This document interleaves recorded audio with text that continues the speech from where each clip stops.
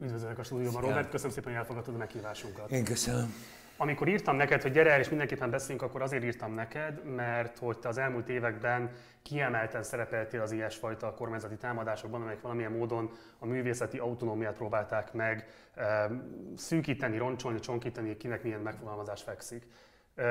Volt egy nevezetes törvénytervezet, ami aztán be is terjesztésre is került, és aztán azóta ez szabályozza az úgynevezett TAU pénzeknek az elosztását, amit úgy emlegetett a szakma, illetve hát a szélesebb nyilvánosság is, hogy a Lex Alföldi, amit kifejezetten azért alkottak meg, hogy valamilyen módon a hozzá köthető, vagy az általad rendezett darabokból e, repertoárt építő színházakat regulázzák, vagy lehetetlenítsék el. Ugye ennek első számú kárvalótja volt az Átrium Színház. Ennek nagyon röviden az volt a lényege, hogy azzal a jegybevétel után állami támogatással, amivel hosszú évek óta terveztek a különböző műhelyek, egyik napról a másikra nem tervezhettek úgy, hogy már régen benne voltak. Igen. Régen benne voltak egyébként ebben a folyamatban. Te ezt egy személyes támadásnak élted akkor meg, vagy hogyan gondoltál arra? Ezt neked címezte a kormányzat, vagy ebben egy sokkal átfogóbb koncepció rajzolódott ki a részükről? Én nem gondolom, de nagyon jó lenne, hogy ennyire fontos ennek, mert akkor sokkal nagyobb lenne a mozgásterem is azt gondolom. Ez jól hangzott, némileg annyi igazság biztos van benne, hogy az olyan típusú alkotók, mint én, akik ide-oda mennek. Az milyen típusú alkotó? Hát aki mondjuk azt mondja, amit gondol, és mondjuk nem méricskél, hogy hogy mit, mit ildomos mondani, mit nem ildomos mondani, illetve még valami nagyon fontos, hogy aktívan elmondja a véleményét arról, ami történik az országban, vagy azt gondolja, hogy az ismertsége, vagy a kora, vagy a, a hitele, ha van neki, az felhasználható arra, hogy bizonyos olyan ügyekben, amikkel mélyen nem értek egyet, abban ezt az ember tudja használni, vagy legalábbis arra, hogy odafigyeljenek arra, amit. De ez miért egy típusú alkotónak a definíció, és ez miért egy általánosan fölfogott művészeti fel, szereprendszer? De most ezt nem kérdezed? Abszolút tőlem általános... Tőle kérdezem, hogy szerinted ez miért nem egy általánosan elterjedt művészet felfogás? Nagyon-nagyon rossz ide beidegződések működnek szerintem az elmúlt években, tehát olyan mondatokat lehet hallani, amiket lehet olvasni a a rendszerváltás előtti időszakról, hogy úgyis ez lesz, ebben a, ebben a környezetben ezekkel a szabályokkal kell működnünk, meg kell találnunk azokat a kiskapukat, ö, ö, egyességre kell jutni, kommunikálni kell. Tehát magyarul igazándiból arról van szó, hogy némi beszarás árán mindenki megpróbálja így, ahogy, ö, vagy úgy, ahogy sütögetni a pecsenyéjét. És az, aki mondjuk ezzel nagyon nem ért egyet, vagy azt mondja, hogy ezt felejtsük már el, vagy nem ezt a világot éljük, vagy hát ugye felnőtt normális demokratikus országban élünk elméletileg, azokat mindig problematikusabb embereknek tartják. Tehát, hogy én nagyon sokat megkaptam az elmúlt időszakban azt, hogy én a saját karrieremet építem ezekkel a megszólalásokkal. Tehát, hogy, hogy az, az a fajta kussolás, vagy az a fajta kulisszák mögötti kiegyezés, hogy az a fajta mindenki megpróbálja a saját kis pecsenyéjét úgy megsütni, vagy olyan kis alkukat kötni, az, az inkább elfogadott dolog, mint az, hogy... Mert működik, nem? Tehát itt valljuk be, ez működik Magyarországon. Egyrészt működik, másrészt ehhez vagyunk szokva. Tehát ugye, amit lehet tudni mondjuk itt a rendszerben arról, hogy a színházakban a, hogyan is működött az, hogy mit lehet bemutatni, kit neveznek ki, mennyi pénzt fog kapni, azok ugyanígy működtek. Tehát ugyanilyen személyes kapcsolatok, bekötések, kiegyezések alapján. Hadd mondjuk egy jelen példát, kíváncsi vagyok, hogy emlékszel hogy 2008-9-ben volt, talán már 2007-ben az úgynevezett színházi törvénynek, a 2010 előtti formájában történő elfogadása. Igen? Ez volt az első előadó művészeti törvény a rendszerváltás után. Hogy érkezik Gáspár Mátésinek az egész folyamatot át fogjuk nézni, de azért akkor mégiscsak a mai szemmel nézve aztán pláne egy rendkívül kitérett és demokratikus egyeztetési folyamat ment végig. Tehát, hogy mégsem az volt, ez? hogy egyénileg kiárták ezt. 2010 előtt ezt mondom. De hogy akkor azért az nem volt mindig jellemző ez a mostani állapota, Egyáltalán hogy nem volt jellemző. szekérharcok vannak. De nem is volt ennyire vannak. nagyon, hogy úgy mondjam, keménykező kormány, vagy nem volt ennyire nagyon erősen ö, egy olyan vezetés, vagy egy olyan hatalmas ország élén, amelyik az élet minden területébe szeretne belenyúlni, és minden olyan valakit, vagy olyan gondolatot, amelyik egy kicsit is nem az, amit ő képvisel, vagy hagyjuk is azt, hogy mit képvisel, aki megpróbál gondolkozni, megpróbál kérdéseket föltenni, megpróbálja vizsgálni azokat a kérdéseket, helyzeteket, amiről szó van. Zárójelben ez egyébként nem jellemző szerinted mondjuk például a teátrumi társaság által fémjelezett rendezőkre? Hát így nem tudom most pontosan, de szerintem nem. Vagy ha igen, akkor óvatosan. Tehát, hogy lehet tudni, szépen megint beálltak azok a dolgok, hogy meddig lehet elmenni. Ugye nem véletlenül visszajött a színházba az összekacsintásnak az ő az ő jelenléte, ami ugye nagyon normálisan, vagy nagyon természetesen az előző rendszerre volt vissza az első színházi törvény egyeztetésére, te arra hogyan emlékszel vissza arra az időszakra?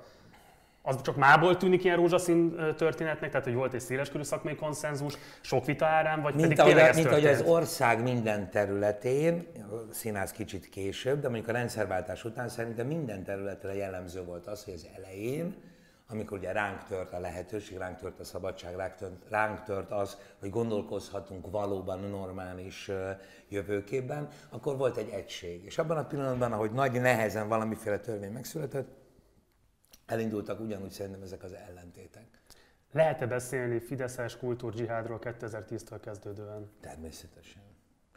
Szoktam, most nem szoktam, nem röhögök, mert benne vagyok, de ugye, ugye ki van megint nagyon erősen saját, hogy, hogy meg kisajátítva egy gondolatsor. Tehát ugye azt mondják, hogy, vagy az volt az NK-nak a megszüntetésén az első tervezetben, hogy a nemzet stratégiai intézmények vezetői veszik át kvázi a pénzosztó grémiumnak a helyét, a szakmai kollégiumok helyett. És akkor azon gondolkoztam, hogy ez a nemzet stratégiai dolog, ez egyenlő lett azzal, hogy a hatalom iránti lojalitás.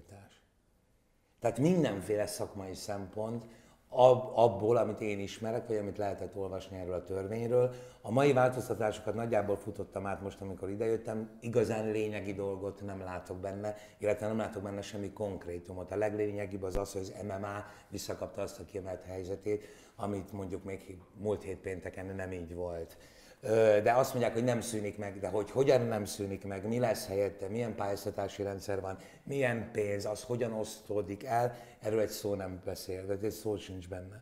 Tehát igazándiból ki van sajátítva valamiféle fogalom, ami alapján valóban a hatalom iránti lojalitást nevezzük a nemzet, a nemzet stratégiának. Tehát ha te nem értesz azzal együtt, amit mondjuk a jelenlegi kormány csinál, akkor te semmilyen módon nem tudod a nemzetstratégiát építeni. Miközben azt nem értem, hogy én, az én azt tanultam, én már egy öreg ember vagyok, tehát én még az átkosban tanultam azt, hogy mondjuk egy nemzet megmaradásának abszolút feltétele, a minél inkább kiművelt emberfők, feltétele az, hogy gondolkozó emberek, vagy gondolkodó emberek működjenek, feltétele az, hogy minél szélesebb spektrumát láthassa a világnak mindenki, aki ebben az országban él.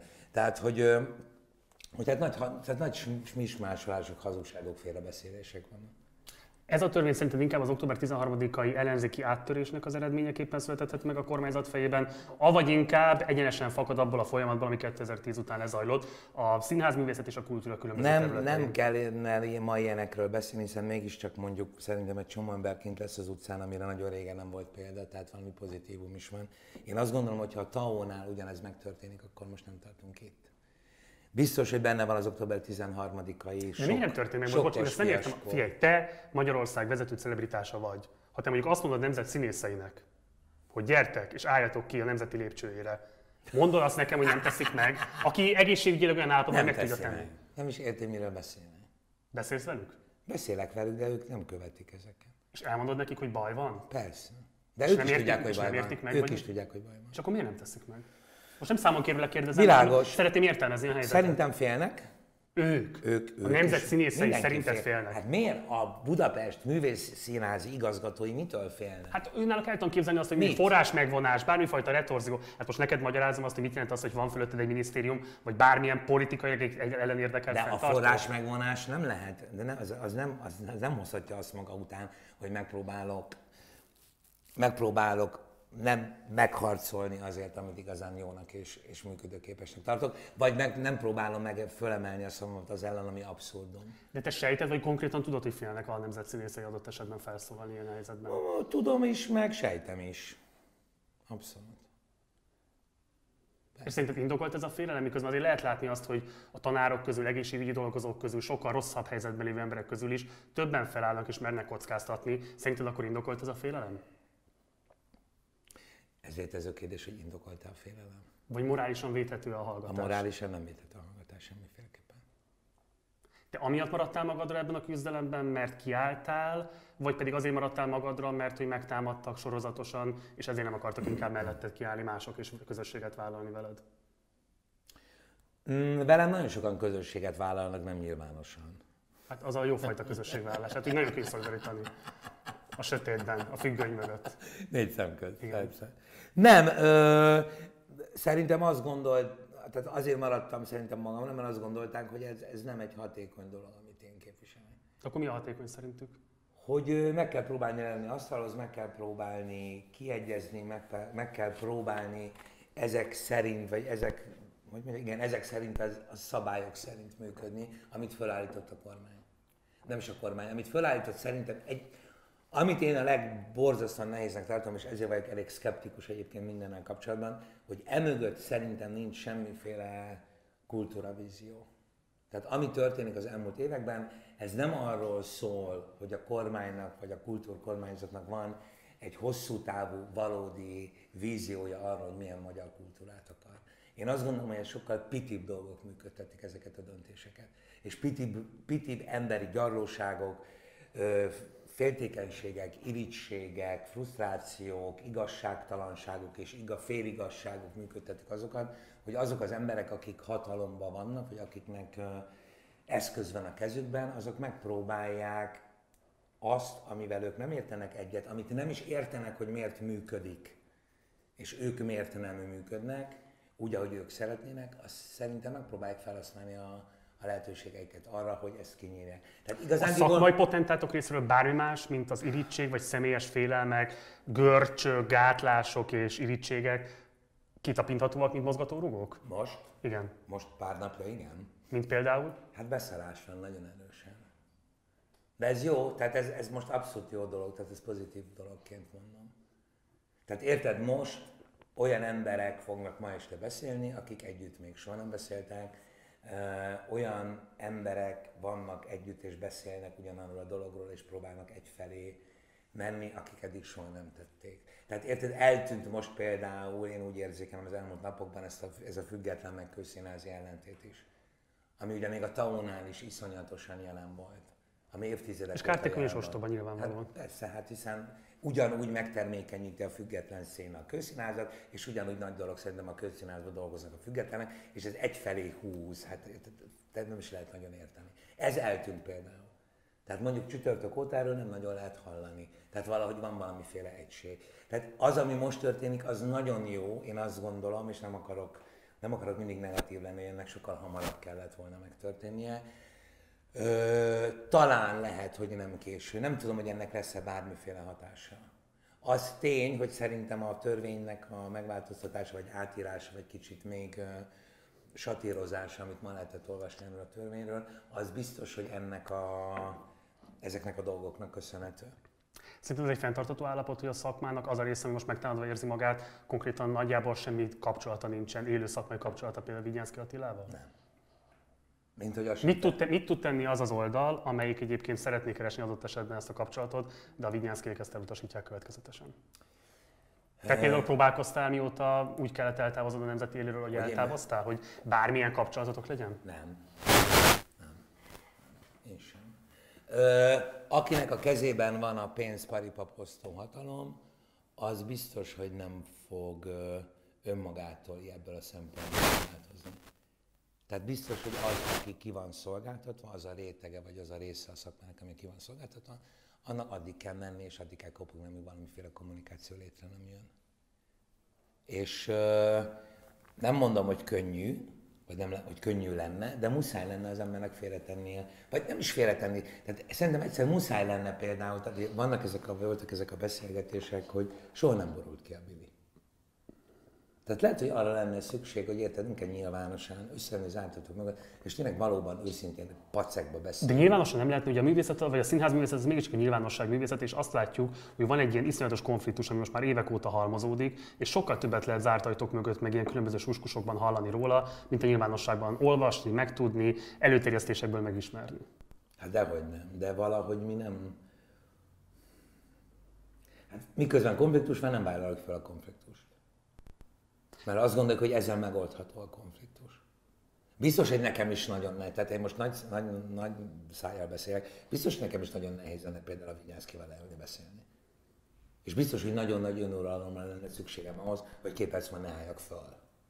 És biztos, hogy nagyon nehéz lenne félrerakni azt a sok-sok valós, és biztos sok nem annyira valós sérelmet, vagy fájdalmat, vagy megaláztatást, amit mondjuk én úgy, élek, úgy érzem, hogy elviseltem az elmúlt öt évben. De hát, tehát, hogy magyarul túl kéne lépni saját magunkon mindannyiunknak. Te szakszervezeti tag vagy?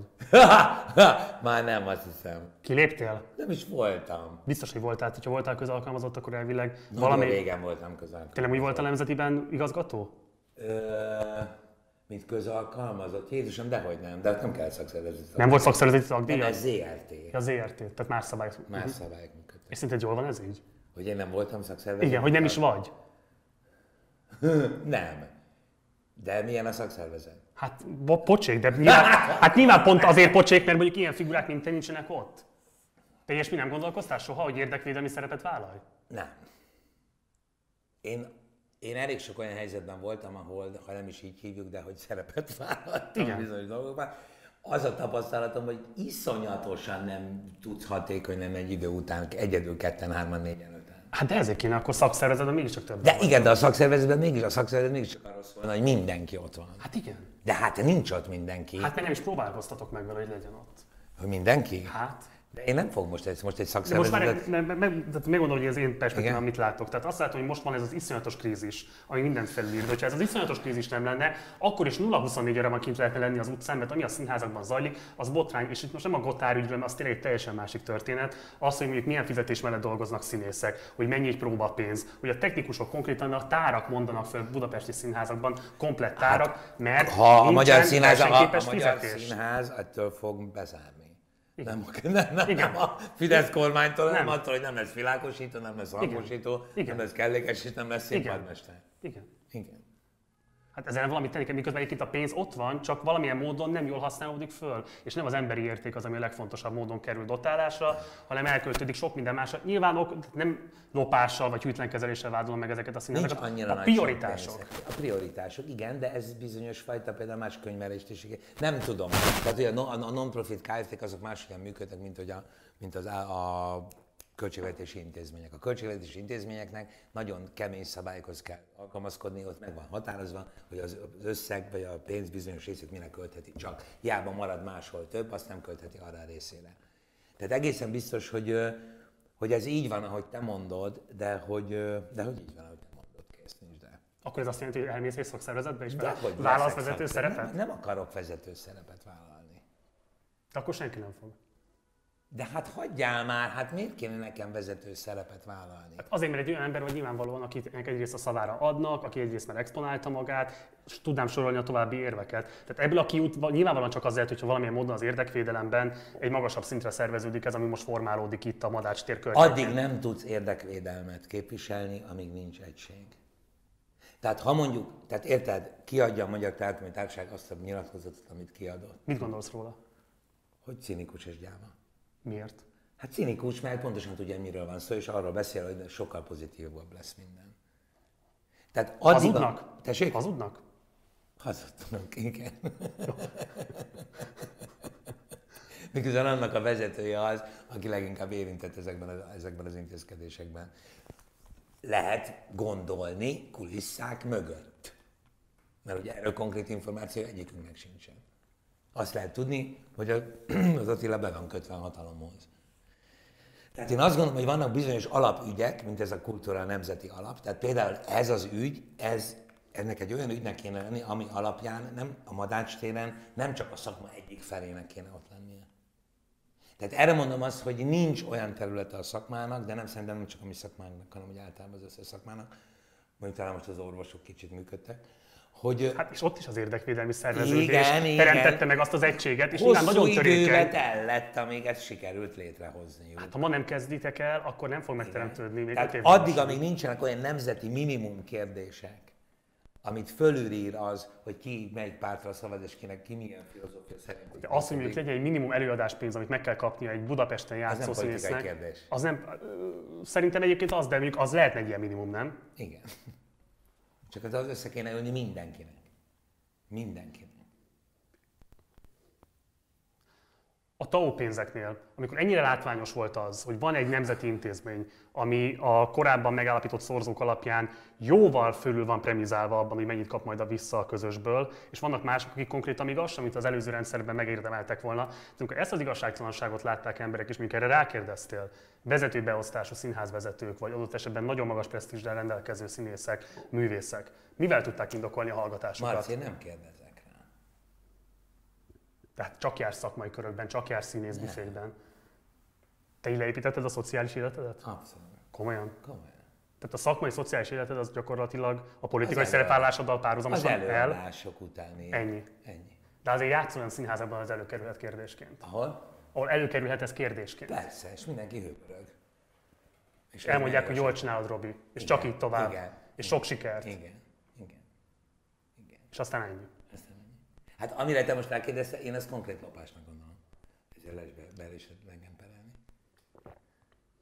Tehát én arról azt gondolom, nagyon egyszerű paraszt észre, hogy amit én, te, ő megtermeltünk, jött valaki, és azt elvette. Egy személyre szabott törvényhozás. Személyre szabott törvényhozás. Ami mögött ő állt. egy, egy, egy, De akkor ebből nagyon nehéz megegyezni. Ebből nagyon nehéz azt mondani, hogy persze, üljünk le egy asztalhoz, és akkor beszéljük át ezt az ügyet. De igazándiból nincs más választás. Ezért mondom azt, hogy nagyon könnyű azt mondani, hogy le kell ülni. Nagyon nehéz leülni. Nagyon nehéz félrerakni a, az indulatodat. Nagyon nehéz félrerakni azt, hogy egyáltalán bele tudj nézni a másik szemébe. Hogy valóban bele tudj nézni a másik szemébe. Tehát ez nem egy egyszerű ügy. Záró kérdés. Szerinted, amikor az elmúlt években voltak olyan megmozdulásai különböző szakmáknak, egészségügyi dolgozók, tanárok és így tovább, akik azért tényleg sokkal komolyabb egzisztenciális kitettséggel tették, amit tettek, és ott azért hallgatott ez a közeg, ami most megmozdul, látszik a Madács téren. Szerinted van olyan mulasztás, ami miatt el kellene számolni a nyilvánosság előtt? Az én szakmámnak nagyon sok. De kifejezetten a szolidaritás hiánya Én miatt. azt gondolom a mi szakmánkról, hogy a mi szakmánk az, amelyikre leginkább odafigyelnek. Kutya kötelessége megszólalni minden ahol erő, ahol, ahol támogatásra, szolidaritásra, vagy egész egyszerűen csak arra, hogy ugyanezt gondolom, jelezze. És számodra ez a szerep kényelmessé vált, vagy belekényszerültél, vagy hogy, hogy küzdesz most meg ezzel a, Én- ezzel a felelősségvállalással? Figyelj, én ezen gondolkozom, hogy, tehát az, hogy mi a, tehát nem kell ugrálni. Szoktam, nem érzem tőle jól magam, ilyen egyszerű. Semmi nagyobb cél nincs benne. Nincs világmegváltás, egész egyszerűen rosszul érzem magam. A rendszerváltáskor milyen művészképben gondolkodtál, milyen művészpályában gondolkoztál magad számára, és ahhoz képest hol vagy most? Hát, hogy, hogy én leszek a Vix Színház egyik vezető színésze. Az így Az lehetnél most is. Most Ha nem, akarnál. éppen, ha Nem akarnál. lehetnél, azt gondolod? Most szerintem nem. De egyébként, ha maradok, akkor lettem volna. Igen. A Vígszínház igazgatója lehetnél, ha akarnál, nem? Nem tudom, de nem akarok a Vix Színház igazgató. Csak azért nem, amilyen szerepet vállaltál október Nem csak 13-án, azért, de azért is. de erősebb az, hogy most már nem akarsz egy ilyen vállalatot, vagy egy ilyen Abszolút üzemet a erősebb. hátadra venni? Abszolút erősen. Abszolút erősen. Ennyire erős a trauma a nemzeti kapcsán? Nem trauma, nem. Az, bármi furcsa a nemzeti, nekem nem trauma a nemzeti, nekem csodálatos történet. Tehát én, ha eszembe jut a nemzeti színház, hogy elmegyek a Sorokságon, és ránézek az épületre, én attól végtelenül büszke vagyok és mosolygok. Tehát nekem ez egyáltalán nem trauma. Nem nekem trauma, azóta sem, hanem sok más embernek trauma. Nem, egész egyszerűen ne, nem, nem, nem. Kiszámíthatatlan. Épít, tehát hogy nem, nem tudsz hosszú távon. Tehát, hogy be, bejönnek olyan, olyan szempontok, be fognak jönni, bármi történik, az a tapasztalatom, amihez nincs kedvem ezeket kivédeni, harcolni. Tehát érted, színházat akarsz csinálni, amikor színházat vezetsz. Hát a politikai felelősségről beszélsz, vagy a politikai helyezkedésekről beszélsz, meg az egzisztenciális felelősségvállásról munkáltatóként a igen. És ez ma Magyarországon olyan tehertétel egy színházvezetőn, azt mondod, ami számodra már nem kívánatos. Még akkor sem, hogyha ezzel művészileg mondjuk adott esetben nagyobb mozgásteret egyáltalán nem lenne. kívánatos. Egyáltalán nem kívánatos. Szerinted kik a nagyobb kárvalótja ennek a mostani törvénytervezetnek? A korodbeliek adott esetben, vagy a pályakezdő fiatalabb színházcsinálók? Hát az- Lehet-e beszélni ilyen korosztályos ellentétről adott esetben? Ö, az én korosztályomban is nagyon sokan vannak olyanok, akik nagyon hosszú idő óta dolgoznak, és ugyanolyan kárvalótjai, mint a fiatalok. De hogyha elméletben nézzük, akkor természetesen az a generáció, amelyik most kezdene, amelyik most kezdett, amelyik most indul, amelyeknek most kéne kialakítani a saját stílusát, a gondolkozását, a hozzáállását a világhoz. És rögtön az van tőle kérve, hogy próbálj meg átgondolni azt, hogy mihez kell alkalmazkodnia. Illetve hát lehetetlen helyzetben hozva. Tehát nem gondolkodás van tőle kérve, az, az van, hogy nem, nem, nem lesz lehetőséget csinálni. Abszolút zárásként mit vársz ma estétől? Némi optimizmus. Amihez minek kell teljesülnie? Nagyon kíváncsi vagyok, mennyien lesznek. És nagyon Hány fővel lennél elégedett? Jaj, nem tudom, hát mit tudom én, hogy hány fővel lennék. Mikor van telt ház? Hát amikor telt ház van. Tehát ha mondjuk megállna, a, hogy hívják a tanácskörútat most? Tanácskörútat? Nem. A Robert Károly körútra gondolsz? Igen, arra. Nem arra, arra gondolok? Károly Károly körút. körút. Na, Igen. tessék! Igen, Nem ismered a saját városodat. abszolút. Ö, hogyha mondjuk ott leállna a forgalom. Tehát ha Károly körúton leáll a forgalom, akkor Igen, hogy vagy. lennénk, hogy kifolynánk a madástérre. Jó. Nagyon köszönöm, hogy itt voltál. Én is köszönöm, elengedjük bocsánat a.